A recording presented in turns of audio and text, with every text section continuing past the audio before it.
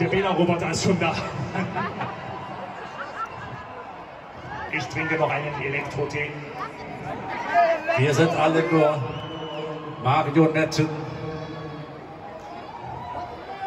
Elektrobier! Schlecht programmierte Marionetten.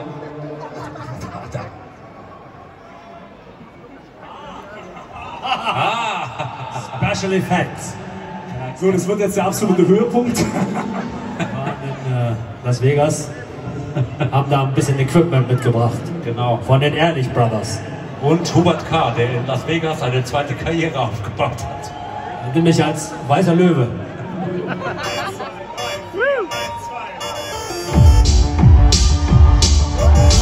Ein Lied über euer Lieblingsthema.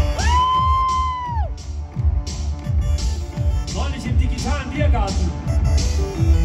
Ich habe mir einen Platin-Roboter bestellt.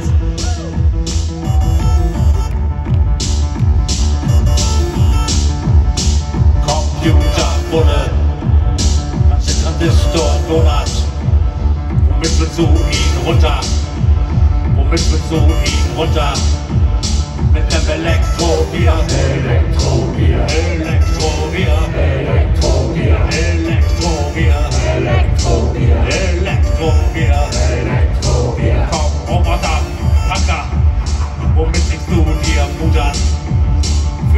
Widerstand.